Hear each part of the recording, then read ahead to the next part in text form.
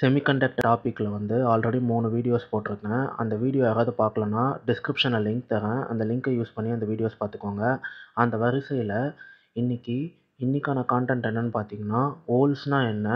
ஹோல்ஸும் free எலக்ட்ரானும் ஒரு pure silicon கிறிஸ்டலில் எப்படி flow ஆகுது அப்படின்றத பற்றி தான் நம்ம பார்க்க போகிறோம் ஓகே ஃபஸ்ட்டு ஹோல்ஸ்னால் என்ன அப்படின்றத பார்க்கலாம். ரூம் டெம்பரேச்சரில் சரௌண்டிங்கில் இருக்க ஏரோட தெர்மல் எனர்ஜி இல்லைனா ஹீட்டுன்னு சொல்லுவாங்க. இது என்ன பண்ணோன்னா சிலிக்கான் கிறிஸ்டலோட ஆட்டமை வைப்ரேட் பண்ண ஆரம்பிக்கும். இந்த வைப்ரேஷன் சிலிக்கான் ஆட்டமோட வேலன்ஸ் ஆர்பிட்டில் சுற்றிட்டு இருக்க வேலன்ஸ் எலக்ட்ரானை ரிமூவ் பண்ணிடும்.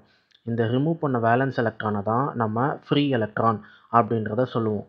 இந்த ஃப்ரீ எலக்ட்ரான் வந்து கிறிஸ்டலில் உள்ளேயே ரேண்டமாக த்ரோ அவுட்டாக சுற்றிட்டு வரும். மூவ் ஆகிட்டு இருக்கும்.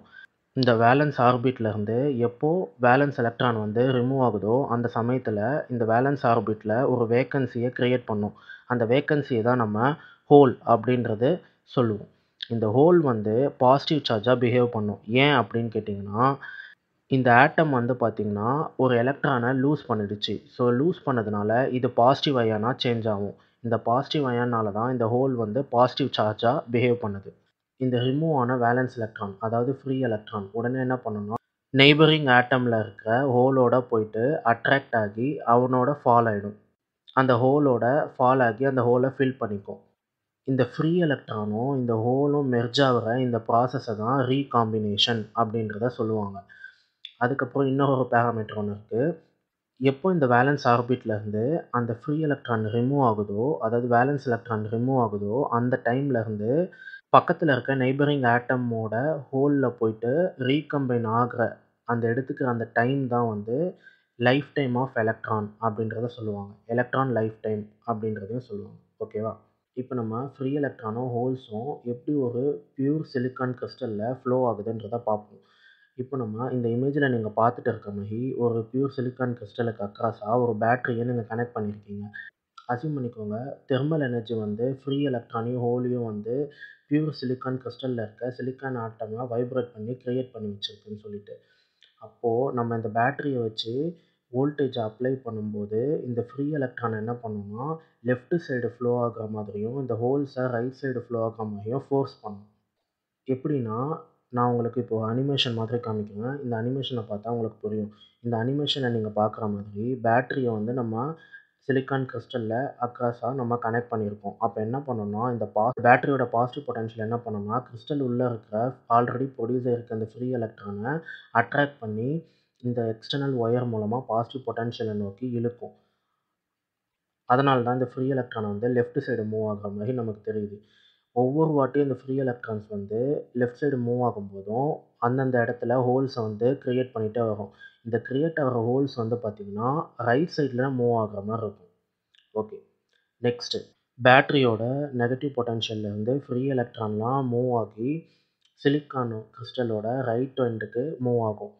மூவ் ஆகி சிலிக்கான் கிறிஸ்டலில் இருக்க சிலிக்கான் ஆட்டமோட வேலன்ஸ் ஆர்பிட்டில் இருக்க ஹோல்ஸை போயிட்டு ரீகம்பைன் ஆகும். ஸோ இதனால் ஒரு செமிகண்டக்டரில் ஃப்ரீ எலக்ட்ரானும் ஹோலும் வந்து ஒரு ஸ்டெடியான ஃப்ளோவில் இருக்கும். ஃப்ரீ எலக்ட்ரானையும் ஹோல்ஸையும் நம்ம கேரியர்ஸ்ன்னு சொல்லிட்டு சொல்லலாம். ஏன் கேரியர்ஸ்ன்னு சொல்லலாம்னா இது ரெண்டுமே ஒரு பிளேஸ்லேருந்து இன்னொரு பிளேஸுக்கு சார்ஜை கேரி பண்ணிட்டு போகிறதுனால தான் இது கேரியர்ஸ்ன்னு சொல்லலாம். என்ன சார்ஜை கேரி பண்ணிட்டு போகுதுன்னா ஃப்ரீ எலக்ட்ரான் வந்து பார்த்திங்கன்னா நெகட்டிவ் சார்ஜையும் ஹோல்ஸ் வந்து பாசிட்டிவ் சார்ஜையும் கேரி பண்ணிட்டு போகுது. அதே மாதிரி ஒரு விஷயத்த சொல்ல மறந்துட்டேன். இப்போது நான் அந்த சிலிக்கான் ஆட்டமில் இருக்க வேலன்ஸ் ஆர்பிட்லேருந்து ஃப்ரீ எலக்ட்ரான் அதாவது வேலன்ஸ் எலக்ட்ரான் ரிமூவ் ஆகுதுன்னு சொன்னல எப்போ எப்போ ஒவ்வொரு எலக்ட்ரானும் வந்து ரிமூவ் ஆகுதோ அதுக்கேற்ற மாதிரி ஈக்குவல் பேராக ஒரு ஹோல் வந்து க்ரியேட் ஆகும். எக்ஸாம்பிள் ஒரு எலக்ட்ரான் வந்து ரிமூவ் ஆச்சுன்னா அப்போது அந்த சமயத்தில் ஒரு ஹோல் வந்து க்ரியேட் ஆகும். அப்போனா என்னென்னா இதுதான் வந்து நம்ம எலக்ட்ரான் ஹோல் பேர் அப்படின்றத நம்ம சொல்லுவோம். ஒரு எலக்ட்ரான் ரிமூவ் ஆச்சுன்னா அந்த இடத்துல ஒரு ஹோலை வந்து க்ரியேட் பண்ணும். ஸோ இதில் வந்து உங்களுக்கு ஹோல்னால் என்ன? ஹோலும் ஃப்ரீ எலக்ட்ரானும் ஒரு செமிகண்டக்டரில் எப்படி ஃப்ளோ ஆகுதுன்றத புரிஞ்சுருக்குன்னு நம்புகிறேன் இப்போ இதிலேருந்து நான் சொன்னதுலேருந்து ஒரு கொஸ்டின் ஒன்று உங்கள்கிட்ட கேட்குறேன் இந்த வீடியோவில் அந்த கொஸ்டினை நீங்கள் பார்த்துட்டு இருக்கீங்க.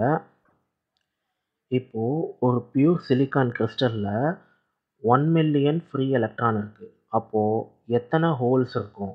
அப்படின்றது ஒரு கேள்வி. அதுக்கப்புறம் உங்களோட ஆம்பியன்ட் டெம்பரேச்சர் அதாவது உங்களோட சரௌண்டிங் டெம்பரேச்சர் இன்க்ரீஸ் ஆச்சுன்னா அப்போது நம்பர் ஆஃப் ஃப்ரீ எலக்ட்ரானும் ஹோல்ஸும் என்ன ஆகும் அப்படின்றது தான் கொஸ்டின் இந்த கொஸ்டினுக்கான ஆன்சர் வந்து நீங்கள் கமெண்ட் செக்ஷனில் கமெண்ட் பண்ணுங்கள் நெக்ஸ்ட் வீடியோவில் இதுக்கான ஆன்சரை நான் சொல்கிறேன் ஓகேவா தேங்க்யூ